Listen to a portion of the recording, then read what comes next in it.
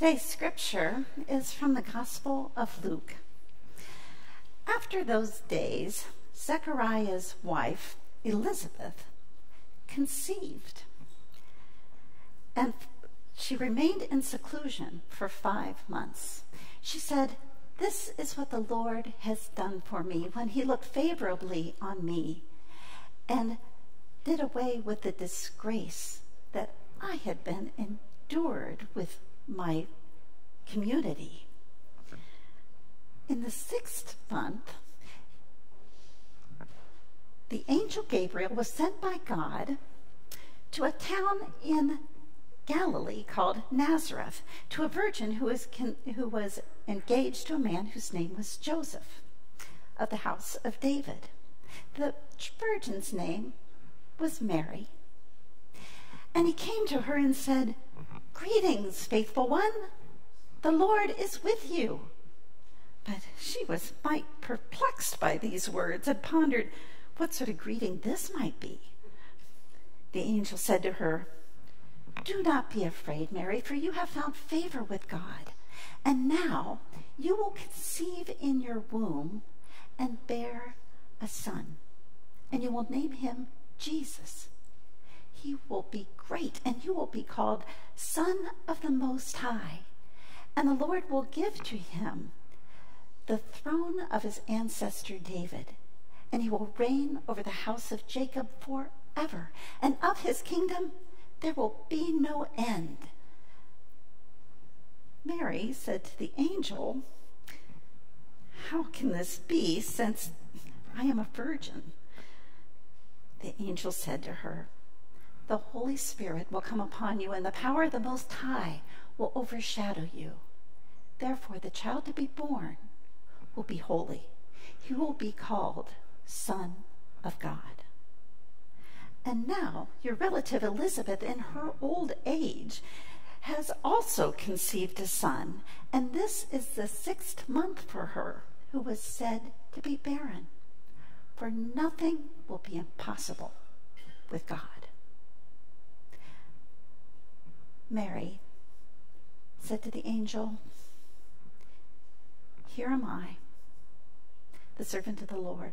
Let it be with me according to your word. Then the angel departed from her. In those days, Mary set out and went with haste to a Judean town in the hill country where she entered Zechariah's house and greeted Elizabeth. When Elizabeth heard this Mary's greeting, the child leaped in her womb, and Elizabeth was filled with the Holy Spirit, and she cried out with a loud voice, Blessed are you among women, and blessed is the fruit of your womb. And why is this happening to me, that the mother of our Lord has come to me? For as soon as I heard the sound of your voice, the child in my womb leaped for joy. And blessed is she who believed that there would be a fulfillment of what was said to her by the Lord. These are the words of God from long ago told for all the people today. Thanks be to God. Amen. Friends, I mentioned at the top of worship that we are in Advent and in a sermon series called How Does a Weary World Rejoice? In this series, we're exploring stories that happened before Jesus' birth from Luke chapters 1 and 2. In Advent, we wait and we watch and we hope and we look forward to the coming of Jesus the Christ in a manger. The first time he comes to be among us when he makes things right in a particular place in a particular time. And we also wait and watch and hope for the coming of Christ forever, the second time when Christ returns, when he will make all things new and when he will make all things right. We wait and we watch and we hope, and as we do so, we've got all kinds of feelings. This season brings with it a range of emotions. Last week we talked about our weariness and how important it is to acknowledge our weariness as we wait, how important it is to say it to God, I'm weary, and how important it can be to say it to another person. This week, we'll begin to celebrate the truth that weariness isn't our only option in this life. It's not our only option. Joy is an option too. So, we're going to talk about what brings joy, and we'll talk about what joy brings. What brings joy, and what joy brings. And as we do, let's pray. Our God, we have gathered here in this time and this place. We've gathered here to hear a word from you, so would you speak through the power of your Holy Spirit? May the words of my mouth and the meditations of all of our hearts be holy and acceptable in your sight, you who are our rock, and through Christ our Redeemer. Amen. Y'all remember the Mary Tyler Moore show? Or if you don't, you didn't watch it, I'm not going to ask you to tell me who watched it originally and who watched it in reruns. You can get online, get on YouTube, and find the opening credits of the Mary Tyler Moore show. Maybe you remember she goes into the middle of a crowded street in the crosswalk, and what does she do? She throws her hat. She jumps up in the air and she throws her hat, and on her face is this smile. It's this wonderful smile. When was the last time you felt like that? Last time you were in an indescribable, truly good mood where you wanted to throw your hat in the middle of a crosswalk. I asked myself this question. I will tell you, I did not like the answer I gave myself. It has been longer than I would like to admit. What were the circumstances of that truly great mood that you were in? Or if it's been so long that you can't even remember the last time you were in such a good mood, if you had to say what were the circumstances in an ideal world, what would they be? What would your what would be on your list? I'll tell you mine. I know that one. my house, I remember this time. I don't remember it was a long time ago, but my house was clean. It was a long time ago, but my house was clean. And I'll tell you, I didn't have to clean it. Somebody else did it, y'all. Yay, indeed. I had had lunch at our favorite ramen place with my best friend. My husband, he's the one who does our family's cooking, he was making dinner and it smelled delicious. I had gotten most, I will not say all, but most of the stuff done on my work to do list. You remember how that feels. and I was relaxing with a good book. I had waited a long time for this book at the library. I finally had it in my hot little hands, and there it was, and I was reading while listening to my children giggle and play Pokemon. All right? Those were my circumstances. If I had to describe the feeling that I felt in that moment, I would tell you it was joy. Things had gone my way that day. Most of the things in my life had gone according to my hopes and my dreams and my plans. And so, what did I feel in response? I felt joy. So much of the time when we describe what joy is, we describe it as a feeling that we have as a result of something. A feeling that we have as a result of something, something we feel because of something that we have acquired or something that we have achieved. We have organized our bookshelf. We've gotten all the junk out of the basement. We win a game. Go, crew. We close a deal. We ace the test. We got a promotion. We buy the Tesla.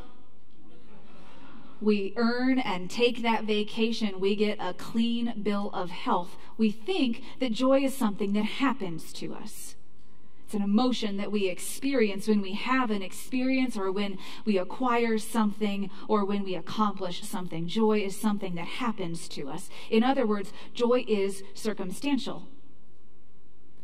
It happens to us when the circumstances of our lives and the circumstances of our world line up. And what's better, when joy happens to us, when the circumstances of our life line up, joy banishes all the bad feelings, right? The sadness, the weariness, the frustration, all of them are gone when joy comes into our life. Joy is the only emotion But what happens when the circumstances don't line up? That's another story. What happens when, yet again, we don't clean out the basement? Or when we lose the game, sorry, Cincinnati or we don't close the deal, or we fail the test, or somebody else gets to be valedictorian, or somebody else gets the promotion, or we can't afford the Tesla, let alone the vacation, or our bill of health comes back and it's not good. What happens to joy then? Do we experience it then? Let's be real. Let's be real. We're in church. It's okay. Human history is not a joy fest. Crack open any history book. Life is not a joy fest. Look at the news. Look down the block. Look in the mirror. We live in a world that has been corrupted by our own selfishness, by the ways that we continually choose our way instead of God's way. We live in a world that is marked by sin, a world that is filled with examples of death and loss, we live in a world whose circumstances overwhelm, so no wonder we're weary. Because we are chasing after the feeling of joy that can only come when perfect circumstances line up. And we live in an imperfect world, so where does the joy come? That kind of joy, friends, that's not going to happen to us. That set of stars aligning, perfect circumstances lining right up, that's not going to happen to us this side of Jesus' return. In Advent, we wait for it. Joy isn't circumstantial, that's happiness. Happiness is circumstance dependent. Happiness comes and goes. It's here one day, gone the next. It comes from experience, from achievements, from acquisitions. It comes and our other emotions go away. Joy is deeper, it's broader, it's wider, it is higher. It's not something that happens to us, it's not something we experience or acquire or accomplish. We don't find it, we don't earn it, we don't buy it. Joy comes from God. It comes from God alone. It is God's gift to us because of who God is and because of what God has done. Joy comes from God. And so, joy transcends our circumstances. Joy, it's less of a feeling and it's more of a life posture. It's a way of being and living in the world. It's a decision that we make and that we keep on making. It's an attitude that we choose and we keep on choosing. Joy says, I'm good. I'm good no matter what comes my way because I know who I am and because I know whose I am, and because I know what comes next. We choose joy day in, day out, moment in, moment out, whatever it is that we're feeling, whatever it is that we're experiencing alongside the joy in that day. Joy is it's less the absence of other emotions and more the emotion we feel alongside everything else. Alongside our weariness, there's joy alongside our happiness, joy, alongside our sorrow, alongside our questions, our challenge, alongside all of it, there's joy. We live in joy because of who we are. We are children of God, friends. We are each loved and created and claimed by God's love. We live in joy because of whose we are. We are God's. We belong to God, and because we are and because we do, we're redeemed from our selfishness and our sin, from our death and our loss, from our circumstances, all of it through the power of Jesus' cross. We are redeemed, not sometime in the future, but right now. Set free to live now in ways that love God, in ways that point toward God and His goodness and His grace. We live in joy because of what we hope for. God's promise to make all things new. We live in joy because we know because we know, because we trust, the redemption of the whole world is coming. One day Christ will return and make all things new. And this life, friends, this life is not all there is. It's not all there is. This hurt and this harm, this frustration, this challenge, this confusion that we experience it, Christ will redeem all of it. And so we can have a future hope. And nothing, nothing, no one can take that hope away from us. No circumstance, no feeling, no emotion, no event, nothing can take that away from us. This is the promise that we see over and over in Scripture, time and again. Joy because of who we are, joy because of whose we are, and joy because of what we hope for. Joy because we are connected to God at our core. We're connected to God so we can live in God's love. We're connected to God so we can say thank you to God for God's care. We're connected to God so we can trust in God's promises. Connection to God is what brings joy. And it's the only joy that will last. But can we be honest? Because we're in church.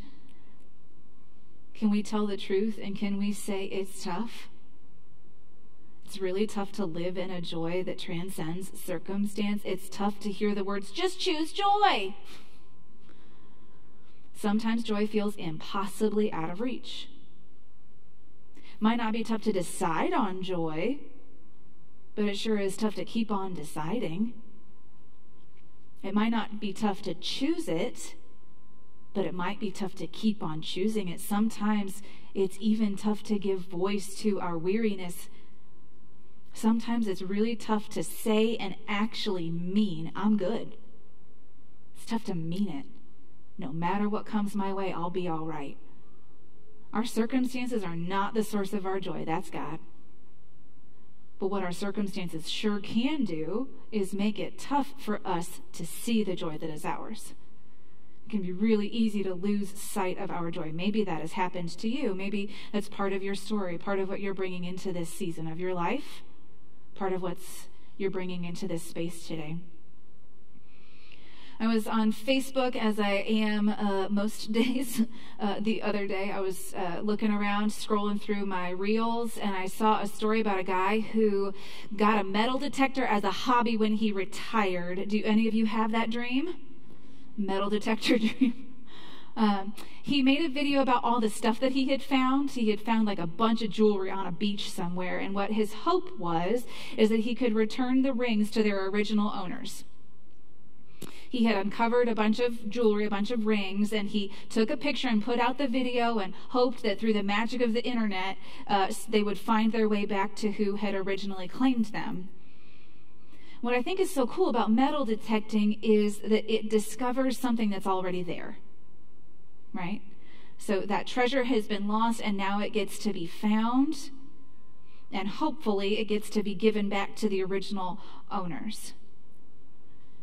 And I think about joy like that. Sometimes joy gets buried, like a ring under sand. The joy is still there. It always has been, and it will be until it gets found. But sometimes it gets covered up. Joy can get buried. And sometimes what we need, friends, what you and I need is help unburying our joy. We need help discovering our joy. We need, in other words, reminders. We need reminders to help unbury the joy, just like metal detectors. Reminders aren't the source of the joy, that's God. But maybe what reminders do is uncover or maybe even point to the joy that is already ours that we've already been given. Maybe the reminder says to us and helps us to say, Oh, there it is. I see it now. There's the joy. There's God. I had a hard time seeing. I had a hard time remembering. Sometimes the reminders come from the world around us. Have you ever gone outside and just seen the beauty of the creation, taken a walk somewhere, Oh my goodness, what does that do for you? It's the best reminder of the joy that is already ours in the created order. Sometimes we need reminders from one another, and that that's what I see happening in this story between Mary and Elizabeth. I don't know about you, I have read this story more times than I can count, and it was in the reading of it this time that I thought about something new. These two women help one another to unbury their joy. They unbury one another's joy. They, they remind one another of joy. They find joy in connection. Look at Elizabeth. She is past her childbearing years. She has waited a long time. She's finally pregnant. And yet, did you notice where she is at the beginning of this story?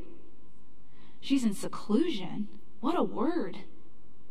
She's waited a long time, and yet here she is away from others. And I wonder, you know, Scripture doesn't say, but it's okay to get curious about Scripture sometimes. I wonder if maybe the circumstances of her pregnancy were too difficult to explain to others, and so she would just rather be by herself.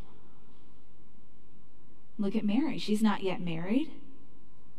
She's newly pregnant through the power of the Holy Spirit. She has received a promise of God, of how God is going to change the world through her.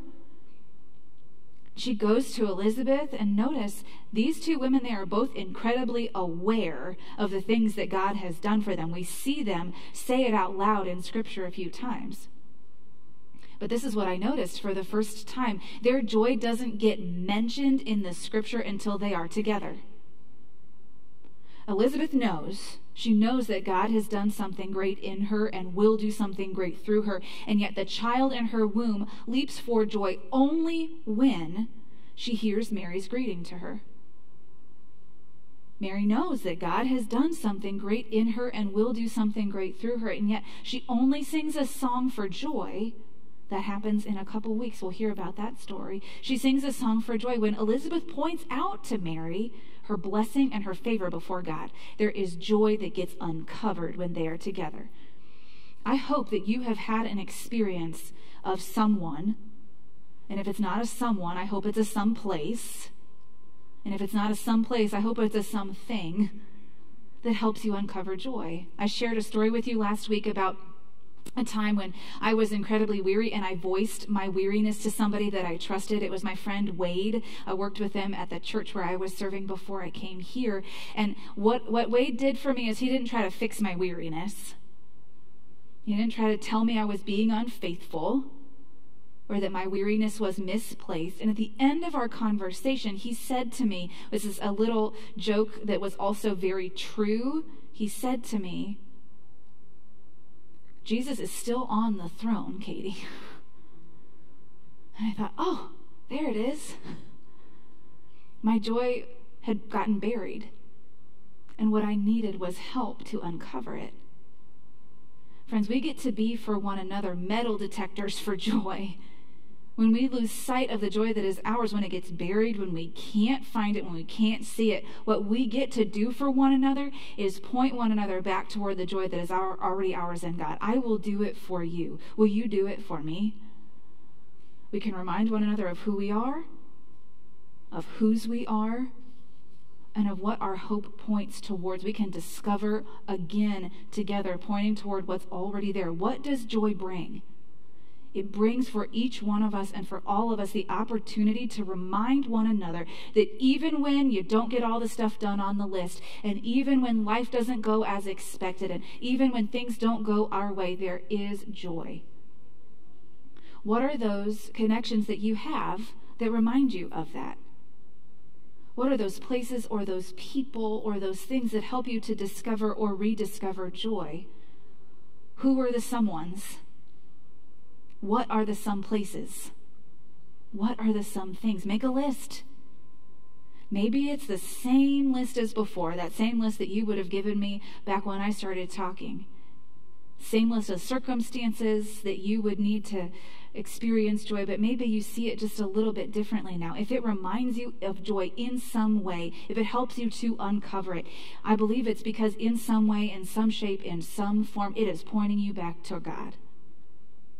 Our connection to God brings joy, and our joy brings us the chance to help others connect to God.